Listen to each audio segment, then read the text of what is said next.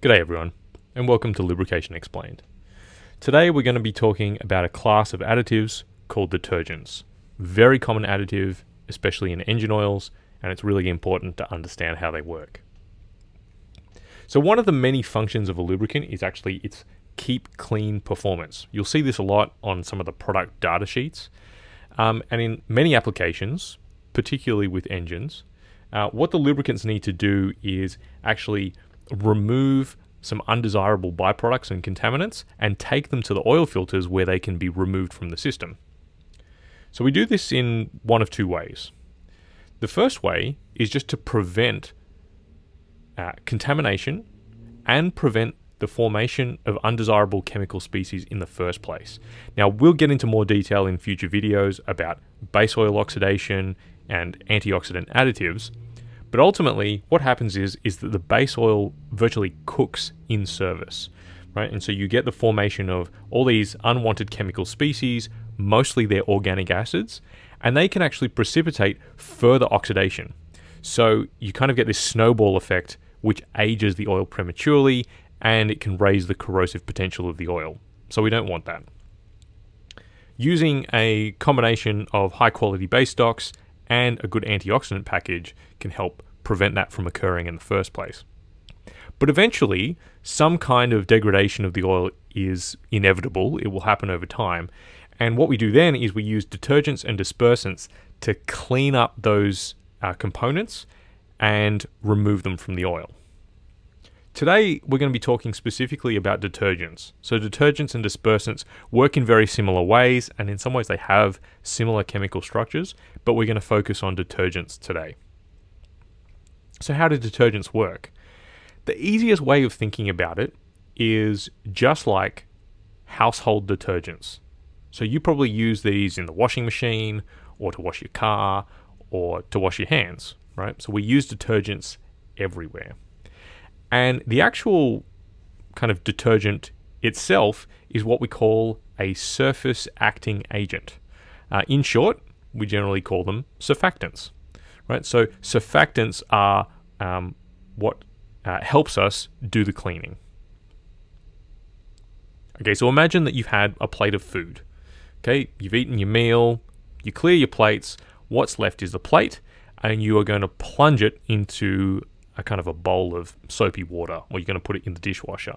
What's actually happening happening at the kind of micro scale? Well, what's happening is that we have a volume of water that you've put your uh, your dish into, right? And there might be, let's say, a little bit of grease that's left over from your food. So, in order to remove this grease from the plate and from the bulk of the oil, we need some kind of chemical structure that can be attracted to the grease, but isn't attracted to any of the water. So we need something that is attracted to grease, but not the water, or attracted to oil, but not the water. So how do we do that? Well, let's consider the way that uh, water is structured, because this will help us understand the sort of the attraction of, of both water and oil and why the two actually don't mix. So with water, we've got two hydrogens and an oxygen. I think everyone should be reasonably familiar with this structure. And within this kind of uh, molecule, what we have is bonds between the hydrogens and the oxygens. Now, what those bonds are is actually a shared electron pair, right? But different uh, different molecules have different what we call electronegativity values. And as it happens, oxygen is a little bit more electronegative than hydrogen, and so it kind of has the greater share of the electrons. And that gives the oxygen, in this case, kind of a, a net uh, a negative charge, and the hydrogen's a net positive charge. And this means that there's overall, when you look at the structure of the atom, sorry, the structure of the molecule, there's actually a net negative dipole. Now we consider an oil molecule. So in this case, I've got pentane, but um, you could imagine most oil molecules are going to be longer chains. What you see here is we've got hydrogens and carbons. And if we were to zoom in, that hydrogen to carbon bond is a shared electron pair where the carbon and hydrogen have very similar electronegativity values. So it's not really shared by the carbon or more shared by the hydrogen. It the electron pair is actually sort of equally shared between the car- carbon and the hydrogen. Moreover, the actual structure of the overall molecule is relatively symmetrical, so there's no real overall dipole, dipole moment um, across the oil molecule. Um, as a result, water and oil kind of sit in two different classes. So we call oil non polar because it has no overall uh, electric dipole, whereas water is polar, so it has a net dipole on it. And it's for this reason that oil and water don't actually mix, right? Because like mixes with like. Now, detergents are a special type of molecule which have a polar head. So, polar is just like water, and that makes the head hydrophilic. Hydrophilic coming from Latin uh, and Greek, meaning, you know, attracted to water. Hydrophobic is the nonpolar tail. So it has this long uh, polymer tail, which is nonpolar and therefore not attracted to water, but is attracted to oil. All right, so let's go back to our bucket of water. Our bucket of water now has a whole bunch of detergent molecules in it. So if we were to introduce our plate uh, with, you know, a little bit of grease on it, what's going to happen is that all these detergent molecules or surfactants are going to be attracted.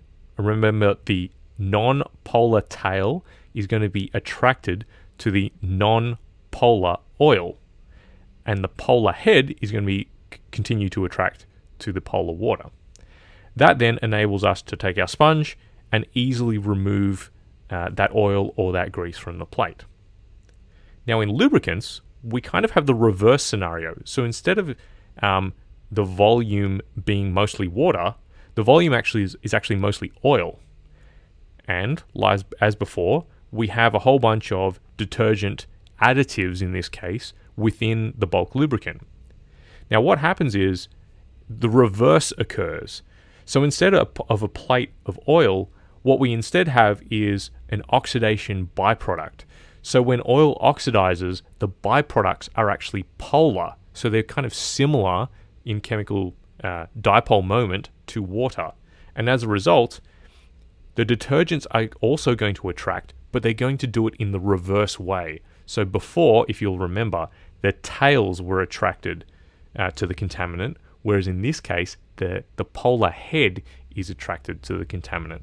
And again, this enables us to remove that contaminant from the lubricant. So that's a really quick primer on how detergents work in lubricants. I hope that was really helpful for you. We'll go into more detail in future videos, but this has been Lubrication Explained.